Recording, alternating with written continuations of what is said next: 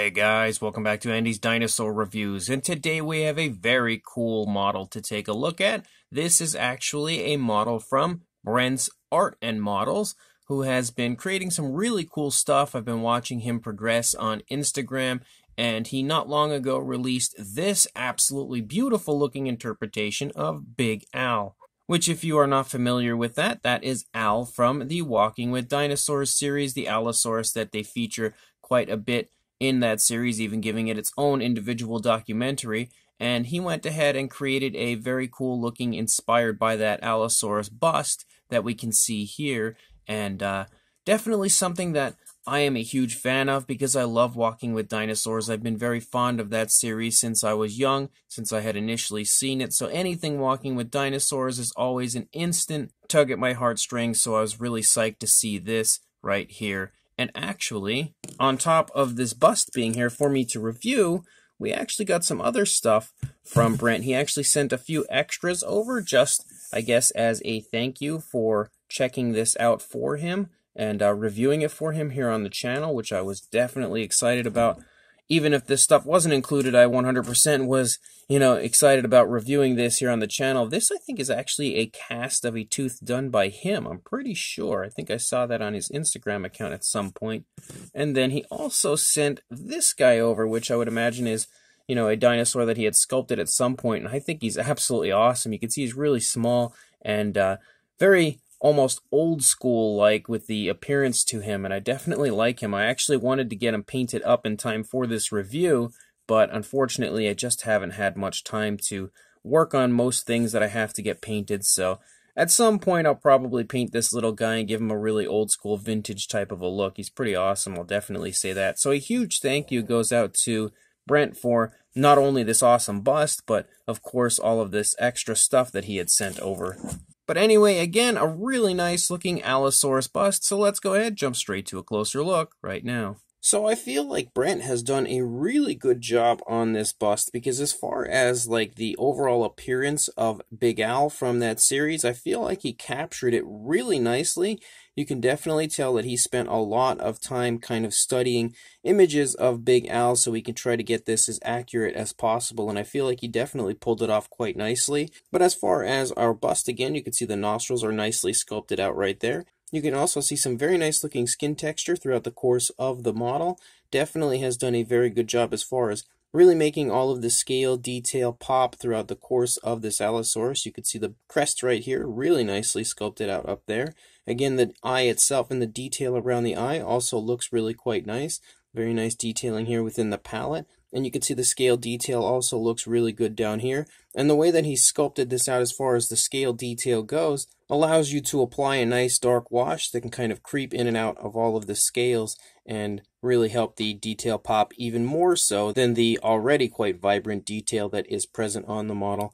You can see the mouth is open slightly, but it's not open too far. However, you can see the tongue in there if you can get a good angle of it. It's a little tough to really get in there because the mouth is so small, but you can also see that we have the teeth sculpted out quite nicely in there. And if we turn the Allosaurus bust around, you can see the same thing over here. Again, really quite nicely done as far as the appearance to the teeth. And as you move back here into the neck region of the Allosaurus, again, the texturing continues to look really nice. We have lots of creasing and stuff going on as we move back into the neck region. You can also see that the detail here on the upper side of the head also looks quite beautiful. Again, that scale detail is really nice, like it really pops on the sculpt.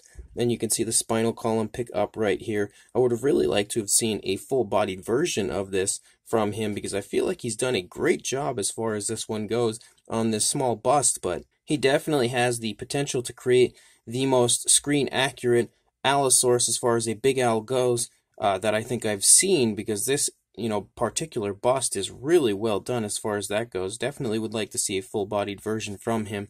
But you can also see some more really nice detailing here on the underside of the throat. As we lead from the lower jaw down here into the throat, you can particularly pick out the throat itself, but also like a lot of skin wrinkles and stuff throughout. The paintwork, of course, was done by me. These are, you know, unpainted kits when you get them, and uh, you just have to paint it up yourself and it's honestly half the fun of getting models like this is to go ahead and paint it up yourself and give yourself something to be proud of when it comes to a model that you have finished yourself. So a really, really beautiful Allosaurus bust. And then we also have the base. And the base is pretty cool because it kind of replicates the terrain that the Diplodocus are walking on. If you can recall the scene from Walking with Dinosaurs where Big Al, actually not just Big Al, quite a few Allosaurus are kind of running and chasing down some Diplodocus and kind of like a dried up sand bed area. And uh, that's pretty much exactly what he was going for as far as replicating that here on this bust. And I think he has captured that also quite nicely. But you'll also notice some pieces of like a carcass here, as those pieces of the carcass are meant to represent a deceased Diplodocus. And you can see that the you know, gory areas and stuff are actually really quite nicely done. You have a piece of the Diplodocus over here, which you can see kind of like a little area of the skin texture here in the back. But you also have, again, some more pieces over here. So you have a little bit of that Diplodocus spread throughout, just giving this not only a nice element of realism, but a little bit of a grotesque look at the same time, and I'm always okay with that. I love when companies will produce dinosaur models that have like you know deceased dinosaurs and stuff on the base or in the case of like Rebor, specifically just a deceased dinosaur. It's really fun, and uh, I absolutely love that Brent has done that here with his bust. And again, the entire thing just kind of blends together to create a really cool overall bust. And I honestly don't know that I've ever seen anybody take this approach to a bust with this stand, how it kind of like leads up here and you could just set the bust on it. I think that's really neat because it just allows it to have a little bit of a unique look to it, something that's different. And anytime something's different and fresh, I'm always a big fan of that. So the bust is honestly absolutely beautiful, but the base, I think, is almost as beautiful as the Allosaurus bust itself. And once the two are combined, it is a really beautiful looking Walking with Dinosaurs inspired Allosaurus bust. Just a really nice work of art on his part. Now, to apply the Allosaurus bust to the base, you can actually go either direction. It actually sits really nicely no matter which way you go. I usually have it like this, and I feel like this is actually the way that it's meant to sit on the base here, but you can apply it any way you would like. That's really up to you. And once you can put it on there and take a look at it, you know, as we turn it here, you can see how incredibly cool it looks. Definitely a really nice base and a really nice bust, but it's also a really convenient size. So to show you that, for a length on our Allosaurus bust, you are looking at a little over 5 inches or closing in on 13 centimeters, very close to 13 centimeters. And for a height, you are going to see it at about the just shy of 4 inches or 10 centimeter area. For a size comparison, there is Mr. Papo T-Rex, the Attack Pack Colovosaurus, and Robert Muldoon from the Mattel Jurassic World toy line in comparison to our Brent's art and models. Allosaurus bust, and you can definitely see again what I was saying, how it's not huge, it's not small, it's honestly a perfect size. Really nice size if you have like a desk or something you would like a really cool model displayed on.